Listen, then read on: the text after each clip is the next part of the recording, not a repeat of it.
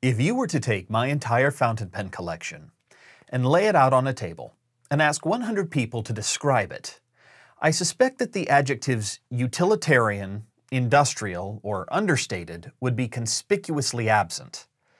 Those are visual styles to which I am not generally drawn.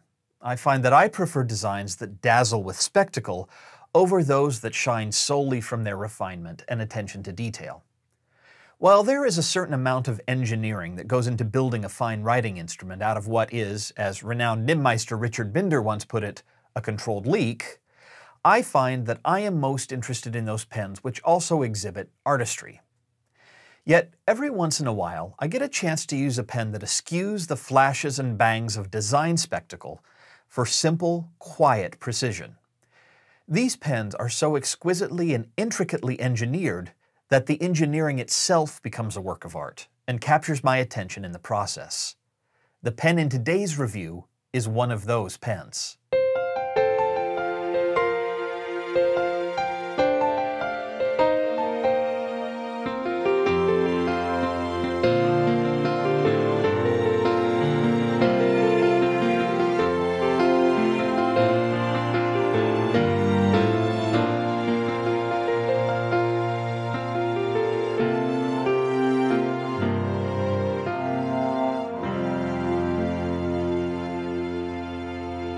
Hello, everybody. Welcome to the Pen Habit. I wanted to kick off today's review by saying a quick thank you to Philip Barlow, who loaned me his Conid bulk filler, which is the pen for today's review. Uh, he had only had it for a, a, few days before he packed it up and shipped it off to me for review purposes. And I like to keep a pen for a while and get to know it before I I do the review, so I have had his new pen for probably a little bit longer than I should. So I wanted to get this recorded, get it in the mail, get it back to him. So thank you, Philip. I appreciate it. Now, as mentioned, this is the Conid Bulk Filler pen for today's review. Now, Conid is a company based in Antwerp, Belgium, um, run by a couple of engineers. Uh, it's been around for a, a few years now, um, and their pens are pretty much unlike anything else on the market. Uh, a quick look at them, you'd say, oh, it's just another demonstrator. Well, it's a lot more than just another demonstrator, and there's a lot going on in this pen. So let me walk you through it from kind of top to bottom. Uh, this is perhaps one of the most precision engineered pens I've ever seen. Uh, and as I mentioned in the intro, there comes a point when something is so well engineered, the engineering itself kind of becomes artistic. And that's how I feel about this pen. It's, it is so well engineered. There's nothing superfluous on this pen. It is as streamlined as possible while being perfectly engineered for almost everything that it does, which eh, that's a real spectacular feat, I think. So um, you've got this little uh, bicolor medallion here on the top titanium ring and then a black metal, I think it's metal ring here. Another titanium ring onto which is attached this titanium clip, nice little bit of spring here. The clip can be engraved as per your request and uh, Philip decided to have a date engraved on his, which is, I believe he told me the day he met his now wife, which is kind of a cool little thing crystal clear acrylic in the cap, and you can see a couple of little ridges here, which serve as, and I'll show you that when I uncap the pen, um, kind of serve as the inner cap and, and some stoppers on the inside to help keep the nib from drying out. Another titanium ring here that says uh, Conid Bulk Filler Fountainbel. Um, I'm going to assume that Fountainbel means fountain pen. It is also the forum name on the FPN forum of one of the founders of Conid. Another crystal clear barrel here for holding the ink. It's a pretty big barrel and can hold about 2.5 milliliters of ink when it's completely full. There's a little plunger here for filling the system, and more on this in a second, because this is pretty cool. Um, then you've got the threads to connect the filling system, another couple titanium rings. This is actually a knob back here, and I can sh uh, actually show you what I mean here. So uh, it's just a knob there. Um, real nice uh, smooth knob, and then it's got a couple of rubber O-rings in here that help hold the cap in place if you decide to post the pen.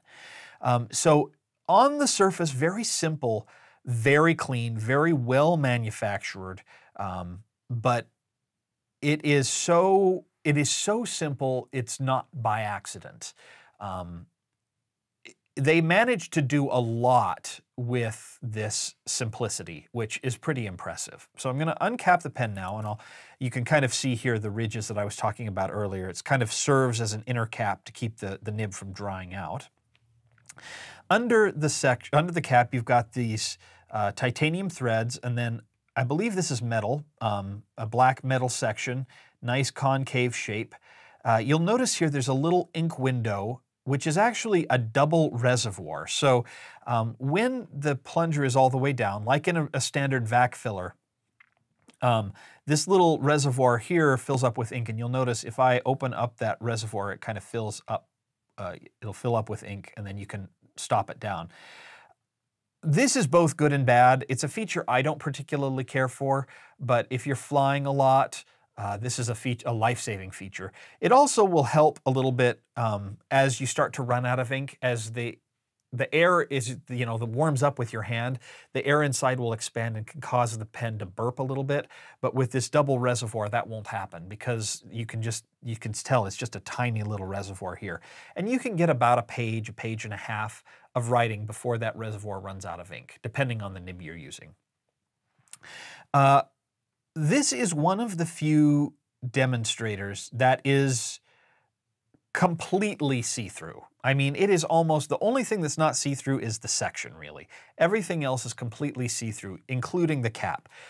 I didn't think that was such a hard thing to pull off, but a lot of people seem to have a problem with it. Putting inner caps of opaque material in or, you know, putting facets on the, the barrel or whatever it is. Very few people manage to get it as see-through as this particular demonstrator is. Everything is crystal clear, beautifully polished, perfectly machined. It is a really high quality instrument. Um, you can get your choice of nibs with the pen. You can get either steel, titanium, or gold. This is a steel nib. I also have a titanium nib uh, that I'll, I'll review a little bit for you. This was a medium nib that was custom ground into an Italic nib. Um, so a lot of the Conid process, and we'll talk about this in value, can you can customize it to what you want. And so th this particular nib was customized, and I'll, I'll, show you how it writes in just a second. Nice kind of uh, concentric oval design, Conid design there, and really an attractive pen all the way around. It does post, it posts moderately deeply. I find it a little back heavy when posted, so I don't post this pen. Um, it's long enough that I don't feel the need to.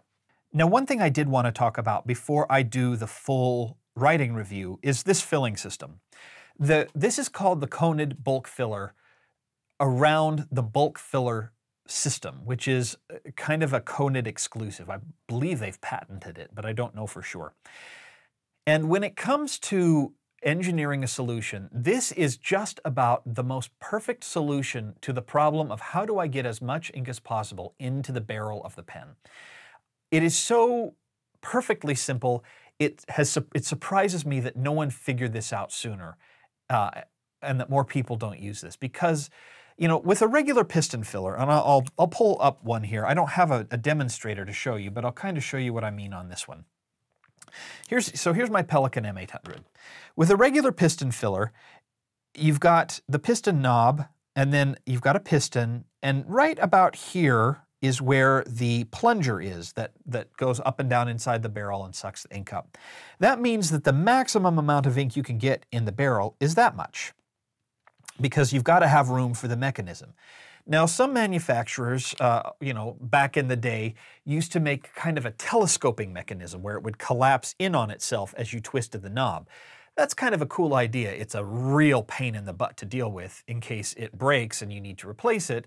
So a lot of manufacturers just got rid of that entirely. Um, the folks at Conid came up with an idea that is just, I think, absolutely ingenious. So you'll notice that the whole barrel is open. There's no plunger anywhere in here. The plunger lives at the back of the pen. So in order to fill this pen, you unscrew the knob, you pull the knob, and uh, you, can probably notice here, I'll see if I can position this right in the light here, but there are threads on the very back of this plunger here. Uh, so in order to, on, on the piston, excuse me, In order to pick up the plunger, you just bring it back, twist the knob a little bit, it, uh, it picks up the plunger, and all of a sudden, you can plunge it up and down.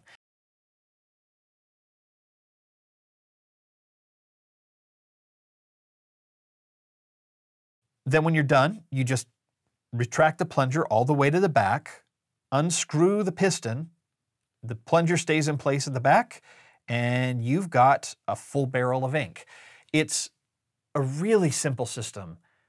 It works so well. It makes it so much easier to clean this pen. Now the pen is disassemblable and you can, you can order special, or not special order, but one of the customizations you can get are the tools to take it fully apart.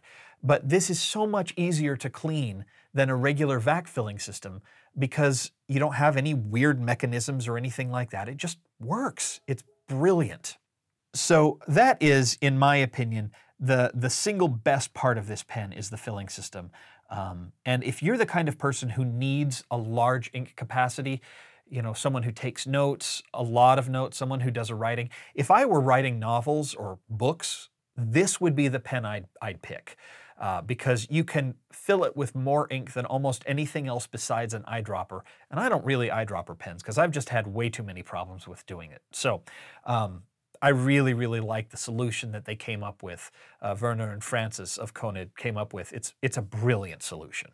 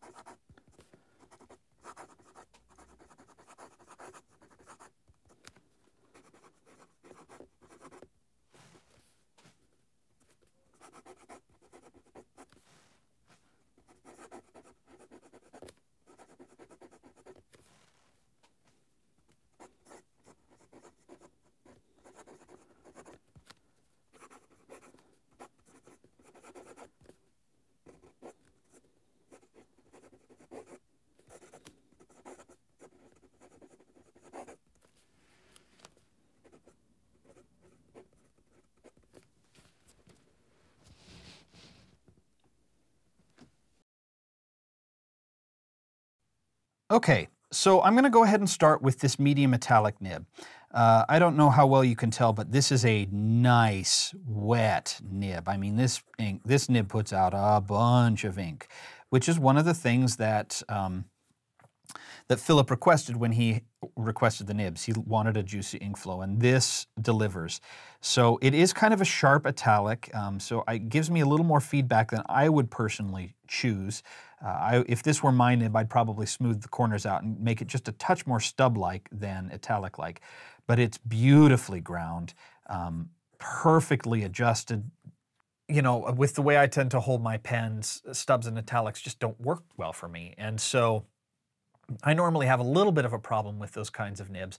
Didn't have any problem with this medium italic at all.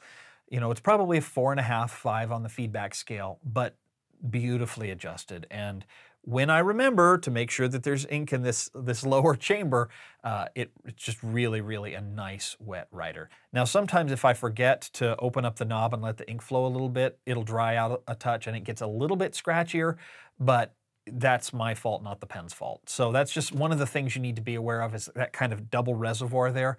It's just like with, uh, you know, a, a, Homo, Visconti Homo sapiens or a TWSBI VAC 700 or a Pilot 823. It's, that's just kind of this design. I'm going to show you the extra fine nib that came with this pen as well. Uh, but before I switch the nibs out, I wanted to show you something that's kind of interesting. So this is the nib unit, um, the extra fine nib unit, but you'll notice there is a little metal feeder tube on the back. This is not common on modern pens. You see it a lot on vintage pens, but it's not common on modern pens. And I think one of the things that helps make this pen such an interesting uh, such an interesting option and, and helps make it work as well as it does. So I've swapped the nib units out, and this is the extra fine nib unit. Now, this nib unit is in titanium versus steel. You can get an extra fine from them, you know, in, in the regular steel nibs, but titanium nibs, uh, as far as I know, Bock is the only one who is making titanium nibs, and their nibs generally tend to be a little bit wider than, you know, I think they come in fine and medium or something like that. They may even only come in one size. I don't remember right off the top of my head. But this particular nib, um, you know, uh, Philip wanted it ground to a very, very fine extra fine, and this is a very fine extra fine. Now, I don't generally care for extra fine nibs. I find them a little too scratchy for my tastes, and this is a very fine nib. Uh, but I will say that this for an extra fine, this is a really, really nice nib. Titanium nibs are soft and you can get a decent bit of line variation. Now, I'm not going to push this very hard because you can spring titanium and it's not my pen.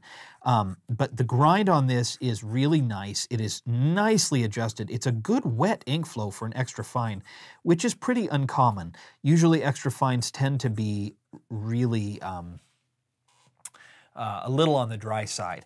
Now, I will say that this nib, this extra fine has an almost architect-like grind to it. It's almost a little like a reverse stub where um, you'll get slightly, and this is only very slightly wider lines on the horizontal than on the vertical. But it is a nice, nice writer. Um, it's a nice reverse writer, which with an even finer line, like an ultra extra fine line.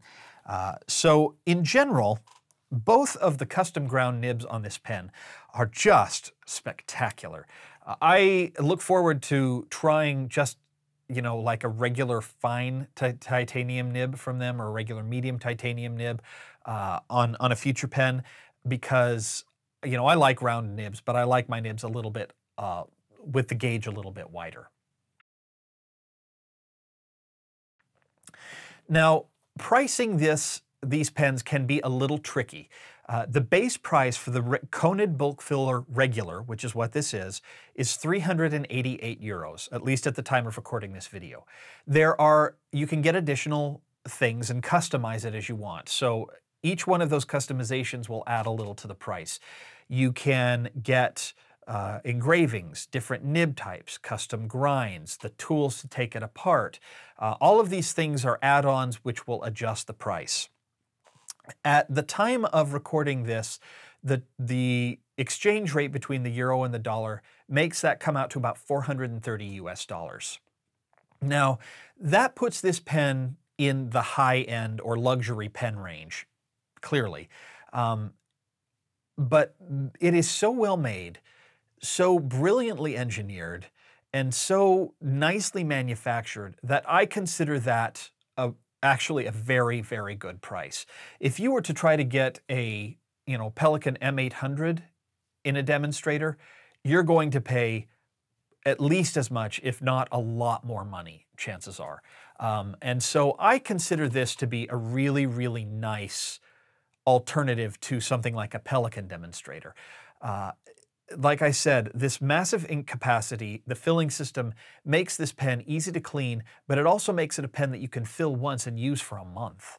Uh, which is great if you're doing a lot of writing, or if you just don't, if you don't have easy, you know, availability to ink. If you're going to travel, this is a pen that would probably travel very, very well. Um, I like it a lot. Um, I'm kind of sad I have to send it back, but but uh, Philip needs his pen back, and and I need to spend a little bit more time on the Conid website figuring out what it is I want to get because I think this is a really um, it's attractive in that very clean lined industrial modern sort of way, but I am just absolutely in love with the way this thing was engineered. So that should do it for my review of the Conid bulk filler. If you have any questions or comments, please feel free to leave them here on YouTube or over on penhabit.com. You can see additional photos on the, the written review on penhabit.com, and the link to that is in the description below. And I look forward to seeing you here next time on The Pen Habit. Thanks so much for watching. Bye.